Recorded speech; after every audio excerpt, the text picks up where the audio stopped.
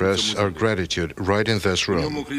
It is here that the Ukrainian nation enjoyed support in the hardest times of its history. It is here where the rights of enslaved nations were advocated. It is from this hall where the world came to know about the truth about Holodomor, the genocide famine masterminded to annihilate millions of Ukrainians. It is in this hall that freedom for Ukraine was voiced at the time when the nation was deprived of its own voice.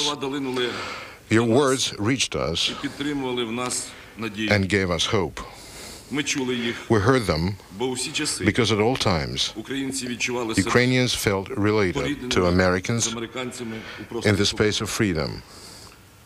In this space of freedom, no iron curtain could divide us.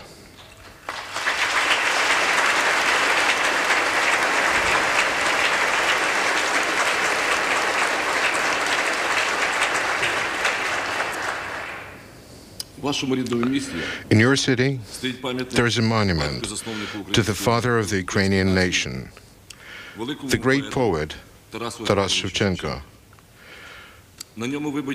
whose prophecy of the emergence of Ukraine, of, it, of its own Washington with a new and righteous law, is enshrined on its pedestal. These verses have a profound and special meaning for all Ukrainians.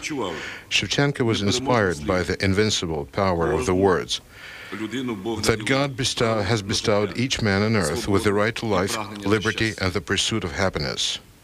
This shared conviction determines the unity of Americans and Ukrainians, and no distances can obstruct it. американский